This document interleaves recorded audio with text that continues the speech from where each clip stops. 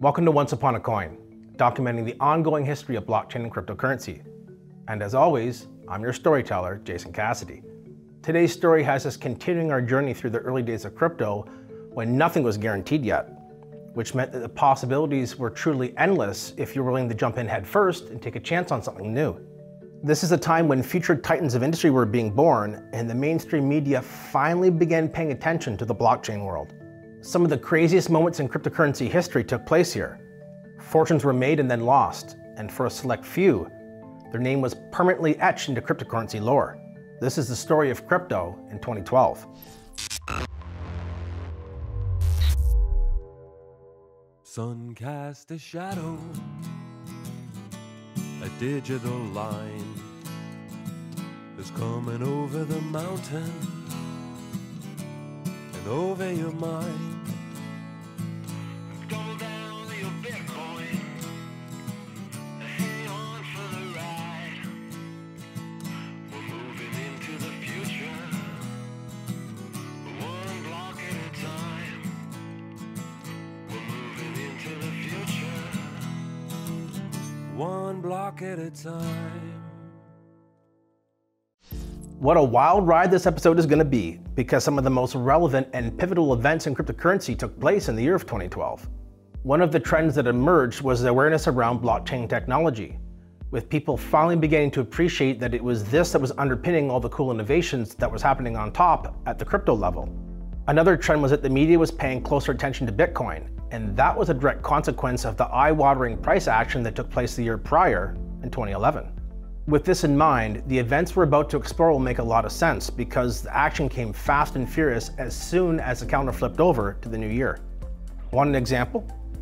Well, if you're someone who had not heard about Bitcoin yet, then you may have just got your first introduction to it via one of your favorite TV shows. This is because Bitcoin was featured heavily in an episode of The Good Wife that aired on January 15th, 2012. The name of that episode? Bitcoin for Dummies. While Bitcoin So, transactions are anonymous, You don't buy Bitcoin. No, you can. There are currency traders online. Yeah, one Bitcoin's worth three dollars. It used to be $33. People were hoarding. But that's not how it gets into circulation. You mine it, like gold. The guy who invented it created this program that releases blocks of Bitcoin over time. See? that means running software on your computer that works to solve complicated mathematical problems. So you can see that this probably caught a lot of people's attention around this time. This pretty much set the tone for the entire year as more and more people were now having crypto on their radar who had either previously never heard about Bitcoin, or if they had heard of it before, they hadn't really assigned any real significance to it. I ran a printing company, but I also was involved in, in quite a bit of political activism. I had a friend, he knew I ran a printing company and, and said, Hey, can you print me some posters? And he asked me if he could pay me in Bitcoin. So I allowed him to pay me in Bitcoin, and that was my very first experience with it. When I wanted to then learn more about Bitcoin, it was uh, heavily dominated by people in the liberty movement. So for me, that was guys like Roger Ver or Eric Voorhees. And gosh, it just doesn't look like that at all anymore. I think of uh, Digital Currency Group, Barry Silbert, uh, or, or Larry Fink from BlackRock. So we're trying to fight to change the face of the global economy. And in some ways, we've failed. I think a lot of battles we frankly have lost, but there's a lot of battles still to be fought. And so I think there's still a lot of really important things that we can accomplish. A lot of people will look at the price of an asset to help determine its worthiness and the direction it's going in sentiment wise, and Bitcoin is no exception. It started off the year at around $5 US, still coming back down to earth after the massive run up in price that it had experienced the year prior. And while the price would need some time to recover from that early bull run, there were still some surprises in store for Bitcoin holders if they could wait long enough. But more on that a bit later. New projects were springing up all around the ecosystem now, and one such project saw the introduction of a name that would eventually find its way onto the Mount Rushmore of cryptonauts Vitalik Buterin. Why? Well, in May, he founded the now iconic Bitcoin Magazine, a publication that produced high quality physical copies of its issues. The magazines focused primarily on Bitcoin and were a major hit with the public upon launch. Buterin would eventually move on from Bitcoin to co found Ethereum, which is the second largest cryptocurrency on the planet today. Just a month later, another company popped up onto the blockchain scene, one that would end up having a much bigger impact on the industry. Coinbase was founded by Brian Armstrong on June 20th, and it would go on to become one of the biggest cryptocurrency companies in history. Of course, it didn't start off this way though. And for the first few months after its creation, the company worked tirelessly at getting its funding together to prepare for a Q4 launch. Now, I've been a Coinbase customer since 2013, and I remember they were a Bitcoin first company. That was their their motto. Now they're I, I don't even know have have hundred tokens and assets, and they're primarily an Ethereum company today in a lot of ways. You know, they, they deserve a lot of praise for making Bitcoin simple to acquire for Americans. Uh, getting Bitcoin early was kind of a nightmare, and Coinbase very, very heavily uh, made made that a much better experience for me. So they do deserve credit for that. So while Coinbase was getting ready to make a big splash later that year, another group was working on an arguably even bigger idea that they were getting ready to debut. And just what idea am I talking about? Well, none other than Ripple. The XRP ledger launched in June, championed by David Schwartz, Jed McCaleb, and Arthur Britto. Interestingly enough, before the name Ripple was established, the group had decided on the name Newcoin as their backstop behind XRP. Shortly after, they rebranded to the name OpenCoin before finally settling on the name that we know today in Ripple. Yeah, it's like I said, 2012 was a foundational year in that it helped some of the biggest brands in crypto get their start. Ripple is a great business model and a bad technology. I, I, have thought that international settlement and interbank exchange has been one of the most powerful things that Bitcoin should have been doing.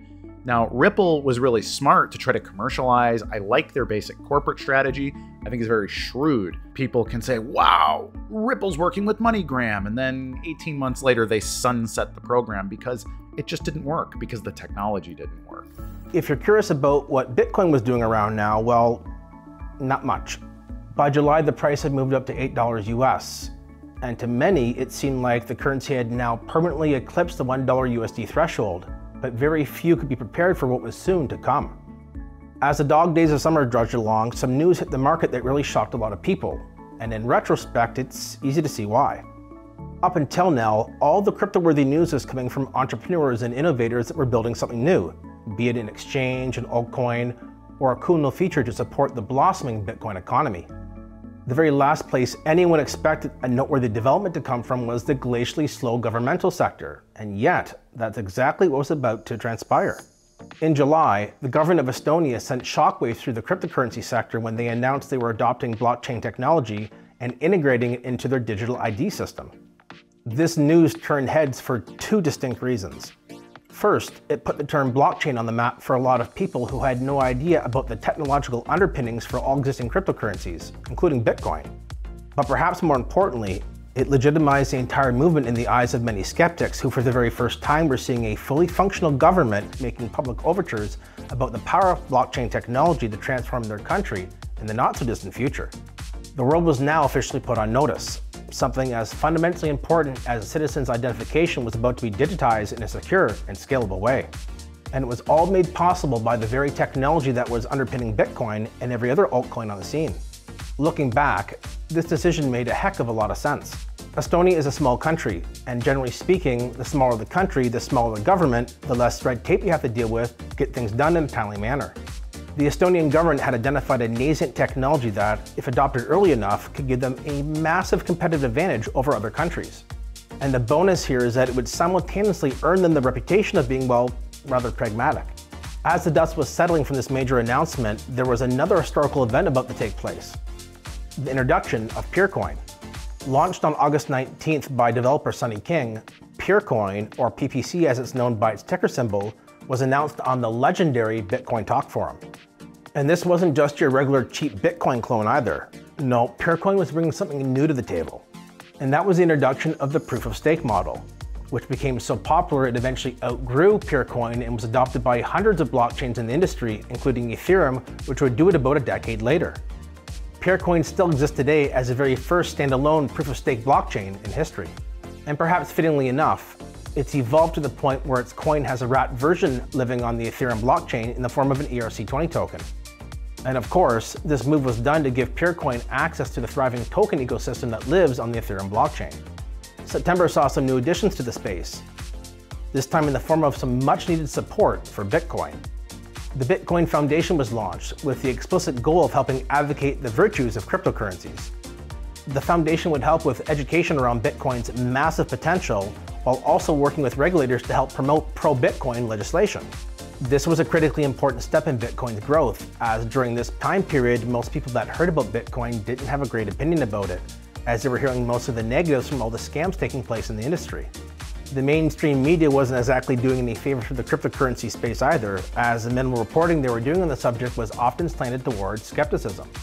With the advent of the Bitcoin Foundation, the industry now had a dedicated body of knowledgeable people to sing the virtues of crypto while also helping address some of the shortcomings that would naturally result from the birth of a very new sector. As October came into focus, it was Coinbase's turn to make headlines again as they were indeed busy over the summer getting ready to open their business to the public.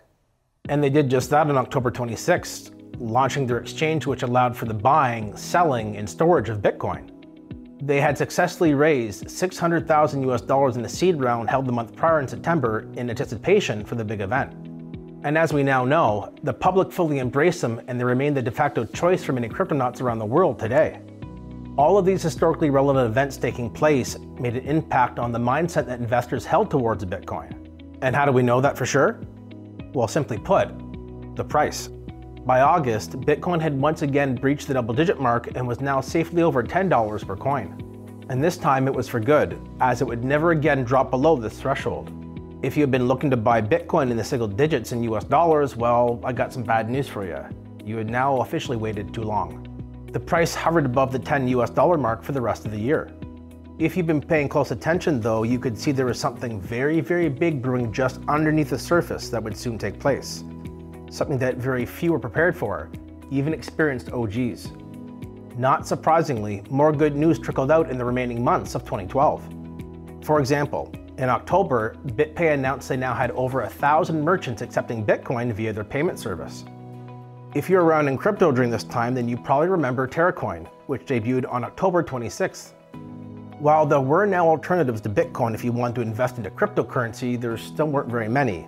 And for a while, TerraCoin was one of the most popular altcoins you could diversify into. On a personal note, this is around the time that I was first introduced to Bitcoin. A good friend of mine was over visiting after work and mentioned how he knew someone that had purchased cannabis via the Silk Road marketplace and how seamless of an experience it was. I just couldn't wrap my head around how the transaction was being settled. I asked him if the buyer had sent out money in an envelope to pay for the transaction, and he said no. The Silk Road marketplace was using a new digital currency called Bitcoin. After asking about a thousand questions, my friend told me, You'll have to do your own research because I don't know all the details. That sent me right downstairs to my PC, and within minutes, I had found the Bitcoin white paper. Well, suffice to say, I was enthralled, and I probably read that thing over a dozen times. I was absolutely mystified with what I was seeing. It really did look like someone had built a technology that could be the future of money. And this officially kickstarted my journey down the rabbit hole that is Bitcoin and blockchain. Within weeks, I had downloaded the Bitcoin QT client and was mining away, looking at the code base and trying to make sense of how the ecosystem was functioning. So, while I never end up using the Silk Road marketplace myself, I do have to credit it for being the source of discussion that put Bitcoin into my consciousness. And to be honest, I've never looked back since. But enough about me, because we still have one more very important and historically relevant event to take place in 2012 one that would at least be in part a catalyst for what would become a completely mental year of 2013 when it came to cryptocurrency. And that would be the Bitcoin halving, a programmatically set event that takes place once every four years. On November 28th, the first ever Bitcoin halving event took place, seeing the block reward drop from 50 Bitcoin per block down to 25 Bitcoin per block. What this meant was that effectively, the issuance of new Bitcoin was just cut in half, making it twice as scarce. This had both real supply implications as well as psychological ones, as the crypto industry tried to digest what the heck just happened. The price of Bitcoin slowly began to reflect this, ending the year just above $13 US. Wow, what a pivotal year for not just Bitcoin, but the entire cryptocurrency industry. 2012 saw the introduction of some major entities like Coinbase and Ripple, cultural and foundational pieces like Bitcoin Magazine and the Bitcoin Foundation, plus the introduction of proof of stake via Peercoin. Yet, as monumental as all this was, it pales in comparison to what was about to take place in 2013. I got to live through this, and my God, if you thought the first few years of crypto were a rush, you hadn't seen anything yet, baby. And that's exactly what we're going to be looking at next with the story of crypto in 2013. Because what took place in that year is going to make most Netflix action movies seem like a tea party in comparison. I hope you enjoyed today's stroll down memory lane. Until next time, have fun and enjoy life, my friends. I'll be back soon with another incredible story to tell you.